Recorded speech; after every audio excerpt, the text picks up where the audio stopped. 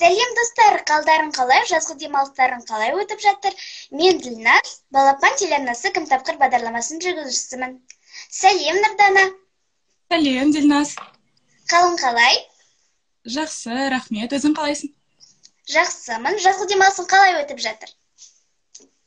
Жақсы өтуде ал сенің жазғы демалыс демалысың ше менікі де жақсы өтіп жатыр.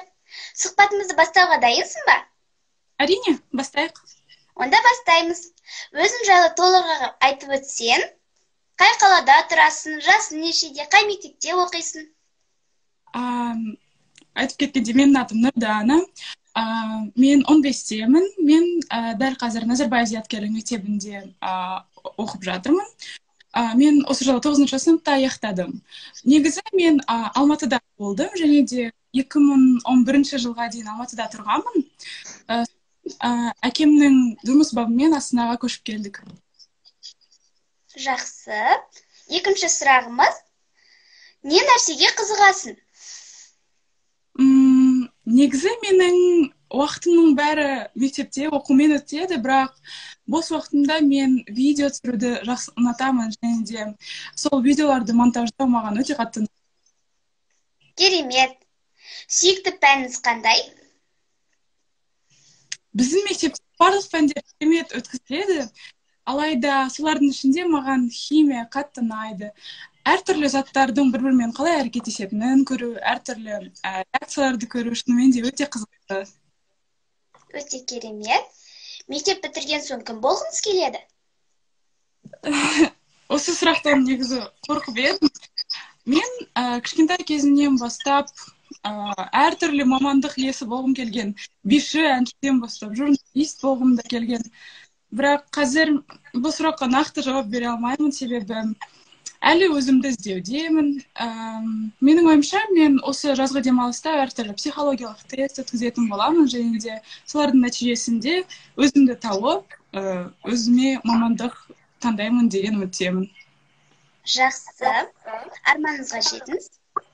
Рахмет. Бос уақытыңызда немен айналысқанды ұнатасыз. Бос уақытымда айтып кеткенде видео түсіргеннен басқа мен көп күш талап етпейтін фильм көруді жақсы көремін әртүрлі музыка тыңдауды да жақсы көремін. Жақсы. Ал енді ағылшын тілін ал енді ағылшын тілі жайында анықтайық. Ағылшын тілін неше жасыңыздан бастап үйрендіңіз? Мені мамам бірінші сыныпта жетектеп ағылшын пәнінен қосымшаға алып барған. Сол кезде мен алты жеті жаста болған шығармын. Сол қазір оны ағылшын тілін үйреніп жатқаныма сегіз жылдай болып қалды деп айтуға болады. Керемет. Назарбаев зияткерлік мектептерінде барлық сабақтарды ағылшын тілінде өте ме? Осы сұрақты мен өзім каналымда да өте жиі кездестіремін. Негізінде ә, назарбаев зияткерлік мектебінде білетініңіздей мен ә, негізі жетінші сыныптан бастап оқу жүргізіледі.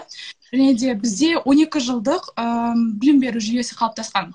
Және жетінші сегізінші тоғызыншы және оныншы сыныптарда ә, пәндер өзінің ә, қазақша және орысша тілде өткізіле береді. Алайда 11 сыныптан бастап шет елден келген әртүрлі мұғалімдер бізге сабақ бере бастайды.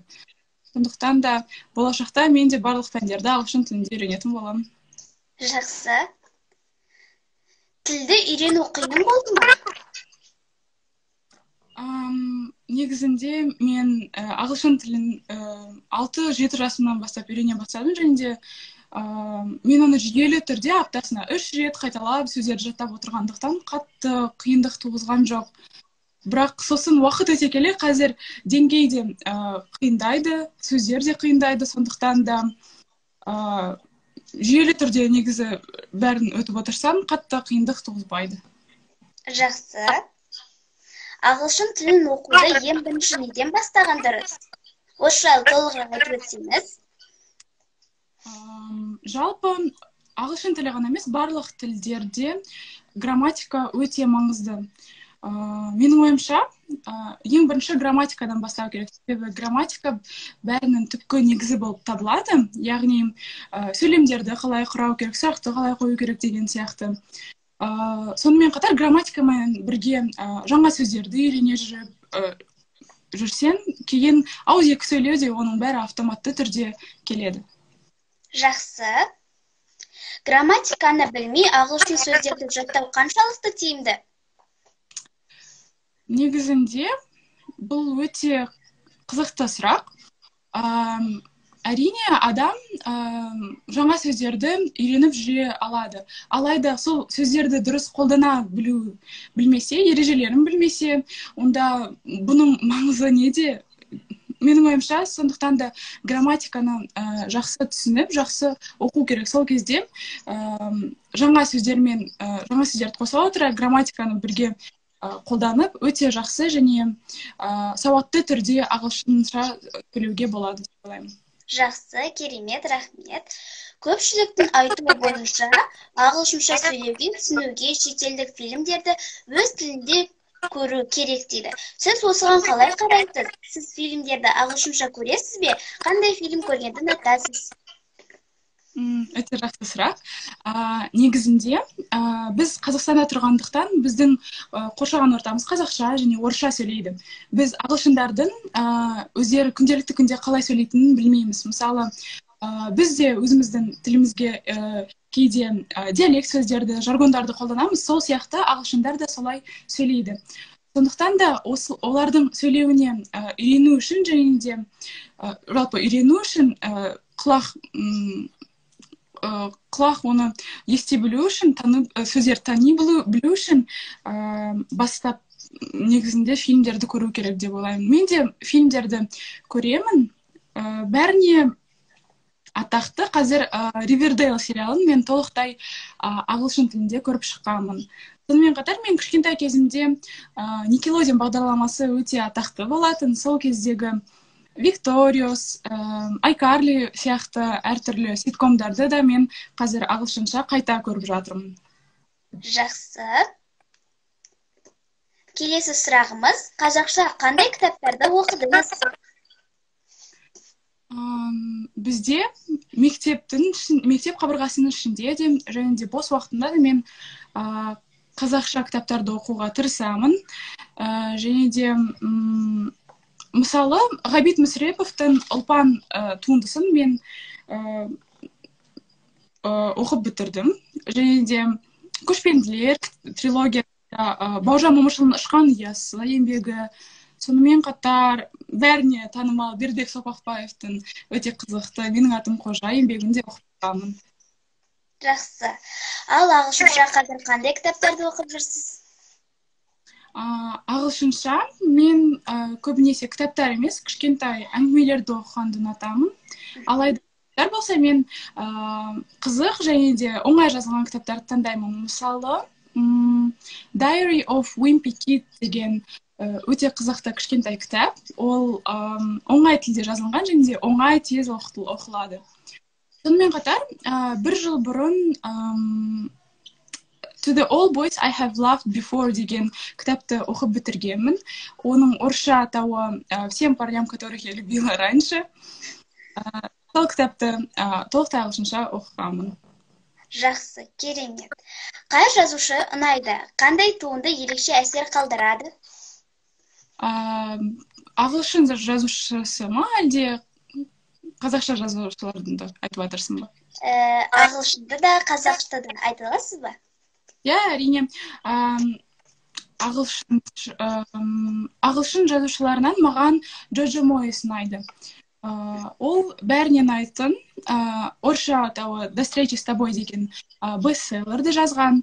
Оның кітаптары өте қызықты тілде жазылады және де менің ойымша жасөспірімдердің бәріне ұнауы керек. Ал қазақша жазушылардың ішінен мен ә, сайын мұратбеков туралы айтқым келеді. Ә, сайын мұратбековтың еңбектерімен мен ә, бұрынғы жылы танысқан едім. Әдебиет сабағында біз ә, жусан иісі деген еңбекті оқығанбыз. Ол жерде өте аянышты аян деген бала туралы айтылады. Және де сол кезде мен барлық кейіпкерлермен бірге жылап барлық кейіпкерлермен бірге күліп оқып шықтым. Сондықтан да маған ол жазушының стилі өте қатты ұнайды. Керемет. Сонымен қатар ағылшынды ұмытпау үшін үнемі оны қолдану қажет деп жатады. Әсіресе ағылшын тілінде сөйлейтін адаммен сөйлескен жөн сіз шетелдіктермен еркін сөйлесе аласыз ба? Иә. Біздің ә, мектебімізде ә, көптеген шет тіл ә, шетелден келген мұғалімдер бар. Және де бізде қоңыраулар ұзақ болғандықтан ә, біз көбінесе оларды мұғалімдермен сұхбаттасу сұхбаттасумен өткіземіз. Сол кезде ә, сол кезде де мен ә, шетелдер шетелдік адамдар ағылшынша сөйлесемін. Сонымен қатар біз ә, отбасымызбен бірге кейде шетелге шығып тұрамыз. Ол кезде әрбір ел ә, әлемнің түкпір түкпірінен келген адамдармен ә, адам, адамдармен де ағылшынша ғана сөйлесемін. Жақсы. Ағылшын тілін үйренуге болатын қандай оқыту сервистерін білесіз? Ондай сервистер қазір көп болып кетті. Бірақ мен өзім дуолинго деген қосымшасын және де ә, skyeng деген онлайн ә, мектебінде оқығанмын. Ә, айта аламын. Олар өте жақсы. Жақсы. Тілді үйрену мұғаліммен бірге оқу тиімді ме? Әлде өз бетінше оқыған дұрыс па? Ағылшын тілін негізінде бұл оқушының өзінің мінезіне және қалауына байланысты деп санаймын. Себебі егер ә, оқушыға басқа адамдармен бірге оқу ұнамаса және де ол ә, ондай ортада ештеңеге үйрене алмаса оған жеке сабақ берген жөн. Ә, алайда мысалы мен ә, бәсекелестік рухын ә, жақсы көремін. Себебі бір адам сенімен бірге оқып жатса сен одан озғың келеді. Сонымен қатар сен ойнап жатқандай да оқып жатқандай да боласың. Сондықтан да ол оқушының өзінің ә, жеке мінезіне байланысты мынау қарастырылуы керек. Керемет. Ағылшын тілін жетік білген адамның алдында қандай мүмкіндіктерді ашылады? Мүмкіндіктер шексіз. Ең бастыларын айтып кетсек ол оқушы ә, адам кез кел әлемдегі кез келген жоғары оқу білім орнына түсе алады. Сонымен қатар ол көзді жұмып глобусты айналдыра отырып кез келген елге де бара алады. Себебі ол қиындықсыз адамдармен тіл табып өзіне керек заттарды сатып алады дегендей. Сонымен қатар ә, менталитеті өзгеше адамдар әлемде көп. Оларды олармен танысу арқылы олармен сөйлесу арқылы достасу арқылы өзінің ой сана көкжиегін кеңейтуге болады. Осы мүмкіндіктер ең маңызды деп санаймын. Жақсы рахмет. Сіз жоғарғы білімде шетел шетелде алғыңыз келе ме? Қай жоғарғы оқу орнында оқығыңыз келеді? Жоғарыда айтып кеткенімдей мен әлі өзімнің мамандығымды таңдамағандықтан ә, нақты бір ә, жоғары оқу білім орнын таңдамадым. Алайда мен ә, шынымен де ә, батыс елдерінің біреуіне университетке түскім келеді. Сондықтан да мен қазір ә, күннен күнге ә, білімімді арттыруға тырысамын. Және де өзімнің мамандығыммен мамандығымды танығаннан кейін өзімді тапқаннан кейін мен ә, белгілі бір университеттер тізімін жақсы. Сіздің блогер екеніңізді де білеміз. Блог жүргізу идеясы неден туындады? Ә, негізінде ә, мен жетінші сыныпта ә, назарбаев мектебіне түскен кезде мектеп ә, бізге өнер сабағы енгізілген еді. Сол ә, ондай сабақ бізде алпыс алтыншы мектепте болмаған. Сондықтан да ә, сол сабақта біз әртүрлі роботтар жасап соларға ә, дауыс беріп әртүрлі видеоларды жасап монтаждағанбыз. Соларды істегеннен кейін ә, мен осы салаға қызығып кеттім. Мен өзім де сондай видеолар жасап дауыс қойып ә, дауыс қойғым келді. Сосын мен ә, YouTube платформасында ә, өзімді блогер ретінде дамытуға шеш, шешім қабылдадым. Жақсы рахмет.